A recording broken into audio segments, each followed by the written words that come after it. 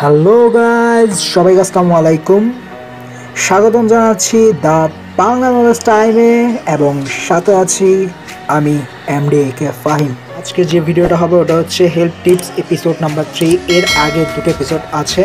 যারা এখনই দেখেননি, তারা দেখে নিন, তাদের জন্য ডিসক্রিপশনে লিঙ্ক দেওয়া থাকবে। তো চলুন শুরু করা যাক আজকের ভিডিও নিজের চোখের যত্ন নিতে চান, তাহলে সবুজ শাকসবজি খান। মাইগ্রেনের ব্যথা দূর করতে চাইলে চারটা করে খেজুর খান প্রতিদিন। স্মৃতি শক্তি বাড়াতে চাইলে প্রত্যহ কফি খান। চুল পড়া বন্ধ করতে গোসলের আগে চুলের তেল দিন। প্রাকস্থলী আলসার দূর করতে প্রতিদিন একটি করে আপেল খান। গ্যাস্ট্রিকের সমস্যা থাকলে ভাজা পোড়া খাবার এড়িয়ে চলুন, অর্থাৎ ভাজা পোড়া খাবার বাদ দিন। বলি রেখা দূর করতে, অর্থাৎ চোখের নিচে যে কালো দাগ আছে, এগুলো দূর করতে শশার রস চোখের নিচে লাগান। নিজের হার্ট ভালো রাখতে চান, তাহলে অল্প অল্প করে দিনে চারবার খাবার অভ্যাস করুন। অর্থাৎ একসাথে না খেয়ে চারবার, দিনে চারবার খাবার অভ্যাস করুন। রাতে ভালো ঘুম হয় না, তাহলে শোবার আধ ঘণ্টা আগে চা, কফি খাওয়া বর্জন করুন।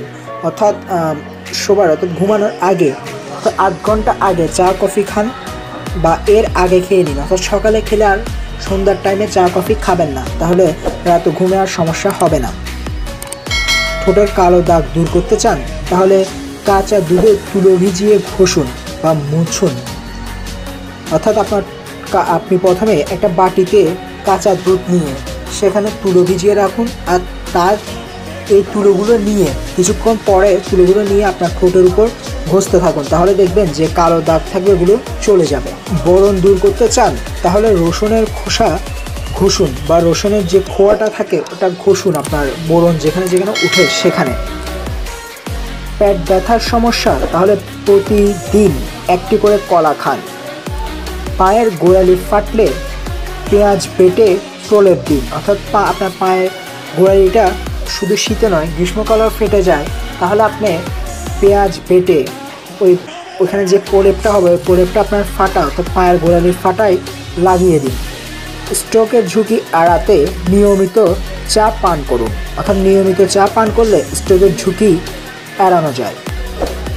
ওজন বৃদ্ধি রোধ করতে খাবার পূর্ণরূপে চিবিয়ে খান।